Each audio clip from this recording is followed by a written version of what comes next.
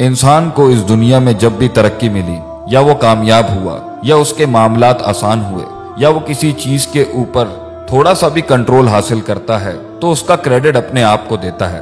وہ سمجھتا ہے کہ وہ قادر ہے، وہ الہ ہے، وہ کنٹرول کر رہا ہے، اور سیلف میڈ مین کے ایسے نعرے لگاتا ہے کہ یہ سب اس نے بنایا۔ اس نے اپنے آپ کو پیدا کیا۔ اس نے پھر آگے وسائل بھی خود پیدا کر لیے۔ یہ ترقی کا اصل حقدار وہی ہے۔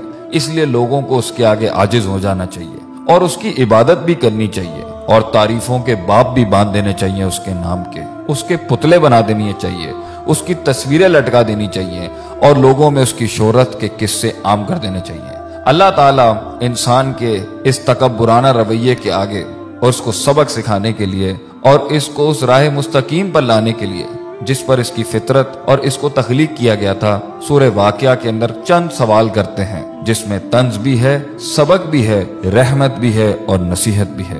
اللہ فرماتے ہیں افرائی تم ما تم نون بلا بتاؤ، یہ جو پانی کی منی کا قطرہ جو تم ٹپکاتے ہو بچہ پیدا کرنے کے لیے ان تم تخلقون ہو کیا ماں کے رحم میں تم پیدا کرتے ہو اس کو؟ کیا تم بنا رہے ہوتے ہو اس کو؟ ام نحن الخالقون؟ یا ہم پیدا کر رہے ہوتے ہیں اس کو؟ اگر تمہارا دعویٰ ہے کہ تم کرتے ہو، تو اللہ کہتے ہیں، نحنو قدرنا بینکم الموتا ہم نے تو تمہاری موت بھی متعین کر دی ہے، وما نحنو بمسبوقین، اور ہم اس چیز سے ہارنے والے نہیں ہیں۔ کوئی چیز اللہ کو عاجز نہیں کر سکتی۔ اگر تم خود اپنے آپ کو پیدا کرنے والے ہو، یا تم سمجھتے ہو کہ یہ اولادیں تمہیں کریڈٹ ملے اس کا، تو پھر تم موت کو کیوں نہیں روک لیتے؟ تم اپنی موت کو کیوں نہیں روک لیتے؟ آگے اللہ فرماتے ہیں، الا ان نبدل امثالکم اور ہم اس چیز پر بھی قادر ہیں کہ تمہاری جیسی ایک اور مخلوق بھی لے کے آ جائیں گے۔ اور دیکھ لو، کبھی کچھ لوگ تھے، آج وہ نہیں ہیں۔ اور آج تم ہو، کل تم نہیں ہوگے۔ وَنُنْشِكُمْ فِي مَا لَا تَعْلَمُونَ۔ اور تمہیں ایسی جگہ لے جائیں گے ہم، ایسے عالم میں پیدا کر دیں گے جس کا تمہیں علم بھی نہیں ہے۔ آگے اللہ فرماتے ہیں، دوسرا سوال کرتے ہوئے افرائی تم ماں کھیتیاں تو تم بہت اگاتے ہو، بیج تو تم بہت ڈالتے ہو، مال بھی بہت کماتے ہو اس سے۔ ایگریکلچر کے نام کے اوپر تم نے بڑی بڑی انڈسٹریز کھولی ہوئی ہیں۔ بڑے بڑے تمہاری تجارتی سلسلے ہیں۔ ذرا یہ تو بتانا، یہ جو تم بیج ڈالتے ہو زمین کے اندر ان تم تزرعون ام نحن الزارعون؟ تم اگاتے ہو اس کو۔ تم گٹلی کو پھاڑتے ہو، تم اس کو ہواؤں سے بچاتے ہو۔ زمین کے نیچے وہ جن طاقتوں سے لڑتا ہے، وہ تم کرتے ہو، اور زمین کے اوپر وہ جن آفات سے لڑتا ہے یا وہ تم کرتے ہو۔ اللہ فرماتے ہیں، اگر یہ تمہارا دعویٰ ہے کہ تم کرتے ہو۔ یہ تمہیں کریڈٹ ملنا چاہیے اس کا، اس کائنات کے نظام کے چلنے کا۔ تو اللہ فرماتے ہیں، لو نشاء لجعلناہ خطاما۔ اگر ہم چاہیں تو اس کو ریزا ریزا کر دیں فضل تم تفقہون۔ پھر تم حیرت کے ساتھ بیٹھ جاؤ گے اور تم حیرت سے بیٹھ جاتے ہو۔ جب پانی ساحلوں سے بڑھ جاتا ہے، جب ہوائیں تیز ہو جاتی ہیں، جب زمین ہلنے لگ جاتی ہے، جب آسمان سے بجلیاں کڑکنے لگتی ہیں، پھر تم سب ہی بیٹھ جاتے ہو۔ پھر سب کی تسبیاں شروع ہو جاتی ہیں۔ پھر ہم ہی یاد آ رہے ہوتے ہیں سب کو جب موجوں میں تغیانی آتی ہے اور سمندر تیز ہو جاتے ہیں۔ کہتے ہو یہ تو ہمارے اوپر کسی قسم کا بڑا تاوان آ گیا ہے۔ بل نحنو محرومون اور ہم تو محروم ہو گئے ہیں۔ ہم سے چیز چھن گئی ہے۔ ہمارے کنٹرول میں کچھ نہیں ہے۔ تو پھر اس ٹائم پر اپنے آپ کو کریڈٹ کیوں دیتے ہو جب جانتے ہو کہ اللہ ان سب چیزوں پر قادر ہے؟ اللہ تیسرا سوال کرتے ہوئے پوچھتے ہیں۔ افرائی تم الما اللہ تشربون؟ پانی تو تمہاری بڑی پسندیدہ چیز ہے۔ پیتے بھی ہو تم اس کو اور کافی ملا ملا کے مختلف رنگوں کی تم ڈرنکس بھی بناتے ہو اس سے۔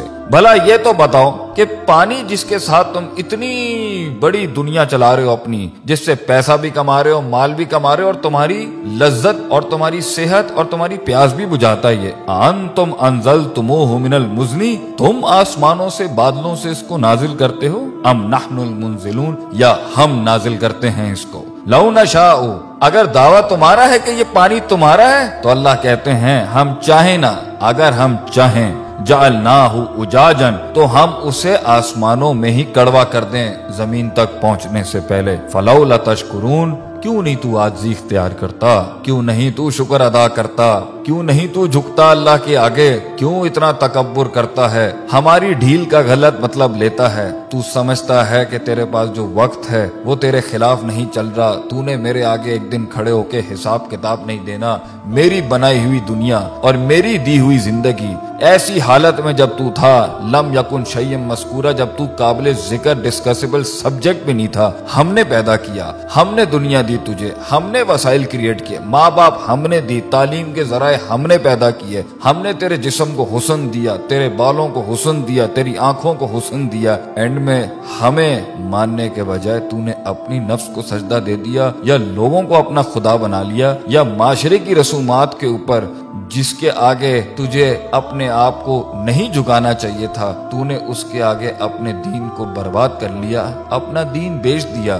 ہمارے کلام کی بڑائی نہ رکھی اور ہماری ہماری بڑائی بیان نہ کی۔ آگے اللہ فرماتے ہیں، چوتھا سوال افرائی تم نار التی تو آگ سے تو تم بہت ہی کام لیتے ہو کہ تمہاری پوری دنیا آگ پر چل رہی ہے، انڈسٹری آگ پہ چل رہی ہے، فوسل فیولز آگ پہ چل رہے ہیں۔ تمہارے انجنز آگ پہ چل رہے ہیں۔ آگ ہی تھی جس کے تحت تم ترقی کر کے یہاں پہنچے۔ گرمائش میں یہ آگ کام دیتی ہے۔ کھانا پکانے پر یہ آگ کام دیتی ہے۔ تمہاری کھالوں کو اس میں سے چربی نکالنے کے لیے یہ آگ کام دیتی ہے۔ تمہاری ہر چیز کو پیوریفائی کرنے کے لیے یہ آگ کام دیتی ہے۔ بھلا یہ تو بتاؤ آن تم انشا تم شجرتہ جس درخت سے یہ کوئلہ بنتا ہے اور یہ آگ بنتی ہے، تم اگاتے ہو اس کو؟ ام نحن المنشئون، یا ہم اگاتے ہیں اس کو۔ ہم نے بنایا یہ سب کچھ۔ کس لیے؟ نحنو جعلناها تذکرتن ہم نے یہ سارے اسباب بنائے نصیحت کے تمہارے لیے۔ ومتاعا للمقوین، اور مسافروں کے فائدے کی چیزیں بنایا ان سب کے لیے۔ یہ سب ہم نے بنایا تھا کہ تم نصیحت حاصل کرتے، تم سرات مستقیم حاصل کرتے۔ تم دین کی تلاش میں نکلتے، تم دین پڑھنے نکلتے، جو اتنی قدرت والا اللہ ہے، تم اس کی معرفت کے لیے نکلتے۔ اور تم اس میں فسبح بسم ربک العظیم تم عظمت والے رب کی تسبیح بیان کرتے۔ لا حول ولا قوت الا باللہ کہتے ہیں۔ تم کہتے کہ اللہ، تیرے علاوہ میرے اندر کوئی قوت نہیں ہے۔ ہم فقیر ہیں، تو غنی ہے ہم ضعیف ہیں، تو قوی ہے ہم نے تکبر کے باب مان دیے۔ اللہ تعالی ہمیں اللہ کی ذات کو ماننے اور اس کے آگے آجزی انکساری سے محبتاً، توکلاً اپنے آپ کو اس کے فرمان، اس کے حکامات کے آگے سر تسلیم ہم کرنے کی توفیق عطا فرمائے۔